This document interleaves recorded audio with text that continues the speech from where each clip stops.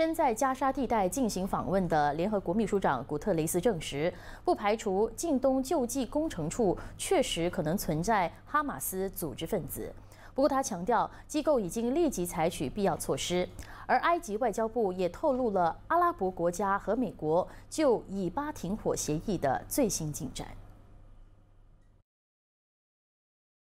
التداولات والمباحثات اللي تمت على مستوى الوزراء الستة والوزير بلينكن هي في تبادل الرؤى حول كيفية التعامل مع الوضع الحالي في غزة اتصالا بضرورة وقف إطلاق النار ضرورة نفاذ المساعدات ضرورة منع التهجير ضرورة عدم اتخاذ إجراءات عسكرية في رفح نظرا لاكتظاظها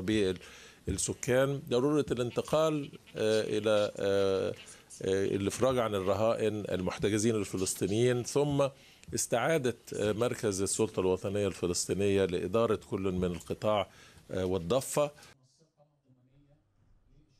古特雷斯是在完成拉法口岸的视察工作后，和苏凯里一起发表讲话。他也重申，当务之急是尽快让以巴双方达成停火协议，以便允许人道救援物资马上进入加沙，解决饥荒问题。以色列早前声称，近东救济工程处有四百五十名工作人员是哈马斯成员，却没有提供任何证据。不过，相关机构随后已经解雇了一批工作人员。